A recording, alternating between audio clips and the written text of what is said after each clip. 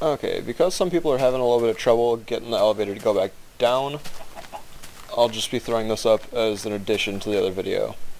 Here we have just the standard video where I left it at the end of the other one, for a standard elevator. Show that it works.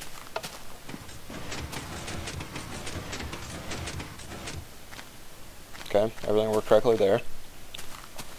Now, as I said before, the order for it to go down is uh, push number one, push number two, push number three, and push number four. Which I will show you how to set those up now. And all of them will still have to be set to delay of 6 ticks.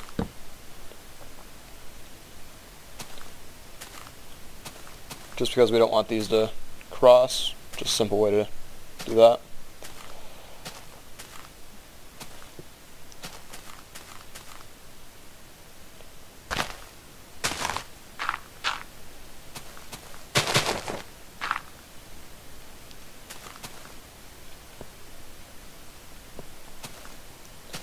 Just bring this around the front. And it doesn't have to be done exactly like this. Like I said before, just go with whatever you have room for.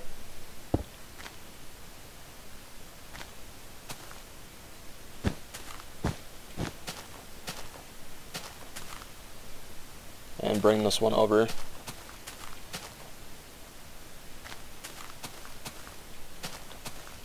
And for the six ticks for that one, set that one to four. That one to two.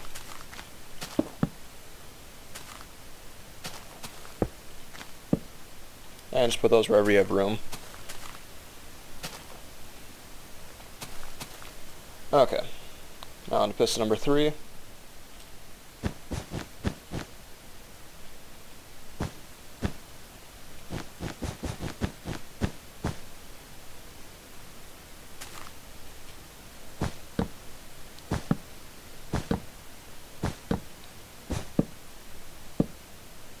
Okay, and I ended it off a little bit early or a little bit lower just so that it still has the same six torches so we don't have to adjust the piston or the repeaters at all.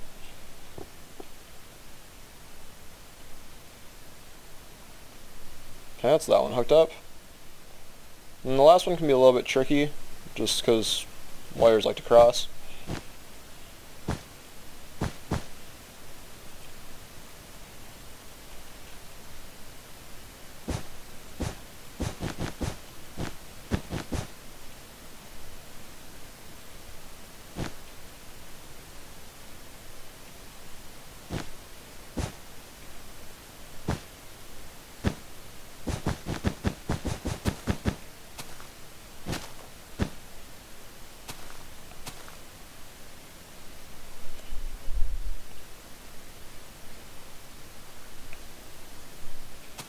Okay, now we just place the same six torches.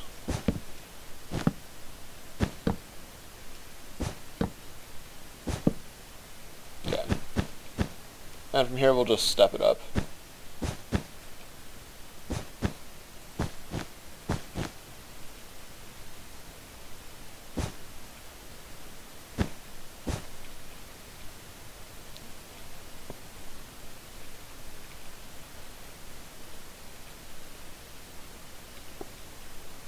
Okay, now here we could run into a bit of a problem where you'd have to throw in a repeater because this is over 15 blocks. And again, yours might not be identical to this, just go with what your space allows you to have. But because we're placing the repeater up here, we don't have to have one between these two. Whereas for the rest of them we still do.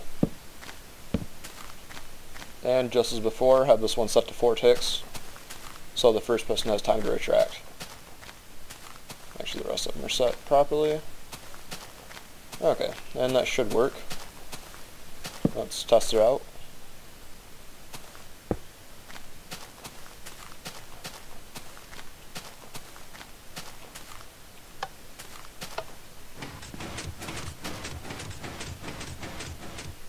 And there we go.